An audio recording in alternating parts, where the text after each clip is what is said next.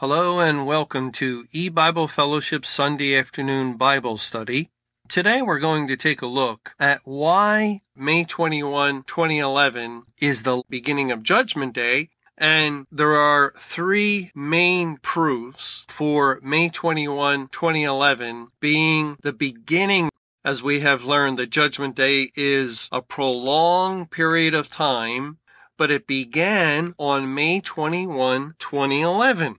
And before we understand that May 21, 2011 was the beginning of Judgment Day, we have to first realize that God has placed in His Word a biblical calendar of history.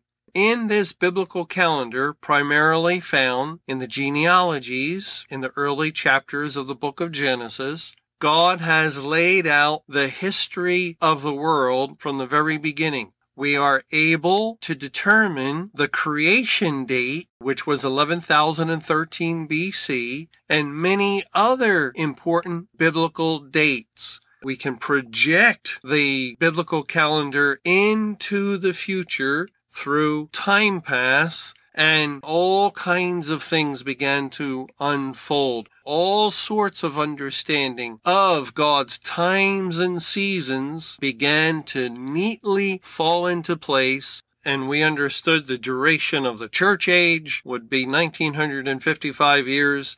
We understood the time of the Great Tribulation would be 23 years, and we could pinpoint it to exact days and months and years all as a result of the Lord opening up the scripture to reveal his biblical calendar. Now, concerning proofs for May 21, 2011 being the beginning of Judgment Day, first of all, God created the world in 11,013 BC. And from that date, we find that there were certain patterns, timelines, or time paths where God will make a statement indicating what will happen.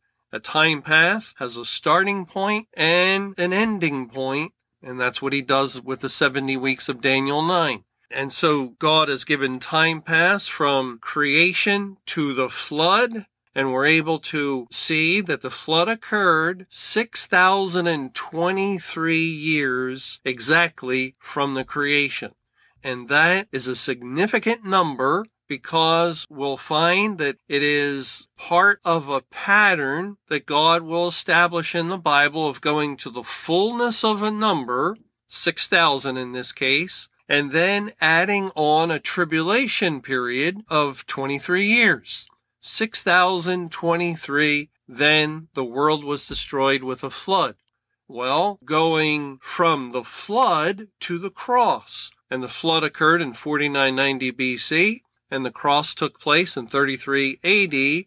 And when we add the two numbers together, we get 5,023 calendar years, not exact years, but calendar years.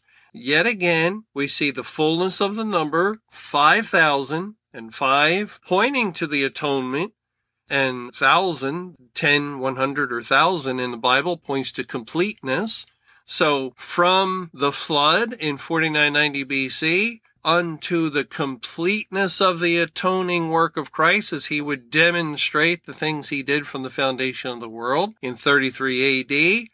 5,000 plus 23 years of tribulation period that is added on. And again, there's that pattern. The fullness of the number in thousands and a tribulation period. Well, likewise, from creation in 11,013 BC to the end of the Great Tribulation and Judgment Day on the world. The first earth was destroyed after 6,023 years with a flood.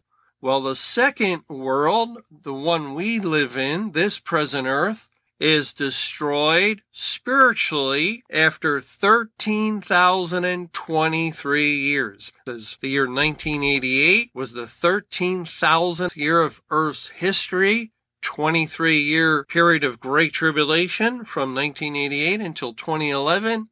Then in the year 2011, it was 13,023 years since the creation. Following that pattern, fullness of the number in thousands, then a 23 year tribulation period that leads to the judgment. the judgment of the flood, the judgment of the cross, the judgment of mankind at the end of the world.